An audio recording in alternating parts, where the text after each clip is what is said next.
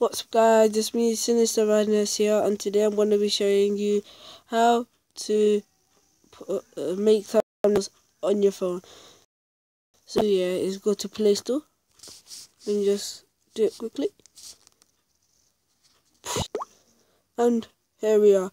So all you have to do is go to search photo grid. After that, yeah, it should be the first one here. This one.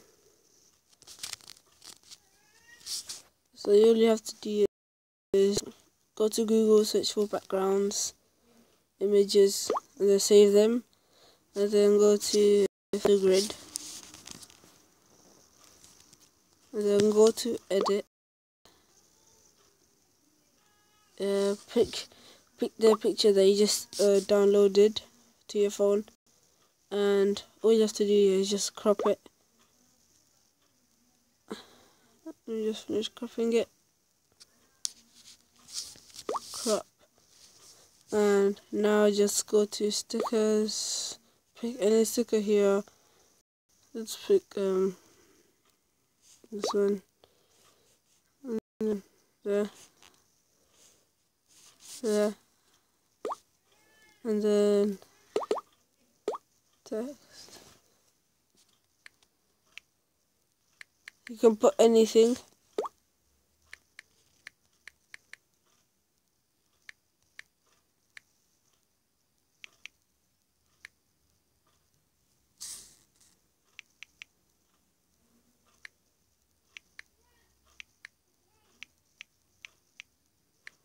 You can put anything but getting a pet. Yeah. And then you can you can then border it like that. And no not that small and like that. So it looks better. So yeah. And then all you have to do after just press save and then the the the thumbnail that you just did has been saved. You can even check on your gallery. Let me just show you. Quickly. Uh, where's my gallery? Here's my gallery. So just go show you my gallery. Slow okay here. It should be in the folder called photo grid. Here